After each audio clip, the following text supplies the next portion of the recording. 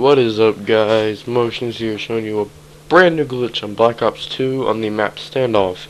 First thing you'd like to have is attack insertion and some kind of explosive, um, grenade, sticky, C4, whatever that can kill you is preferred. Then you'd like to um, go to where I go on the map. The very first time I mess up on here, um, then I go to go back to try to make sure like make make it look like I didn't mess up, but then it would be like a freaking 30 second video, which wouldn't be worth it. Um, yeah, so first thing you like to do is go to the top of the railings where I do. Put your attack insertion down as far up as you can go.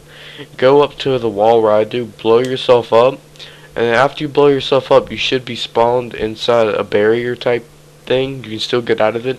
Then you just like to keep hitting A, just like an elevator type glitch. Um, just keep hitting A and move to the back and the right a little bit, then you should eventually go in this little secret room. Once you're in the secret room, you know, you can troll people, troll your friends, anything else. Um, yeah. Thanks for watching, guys. Make sure to comment, like, and subscribe, and uh, see you later. Enjoy.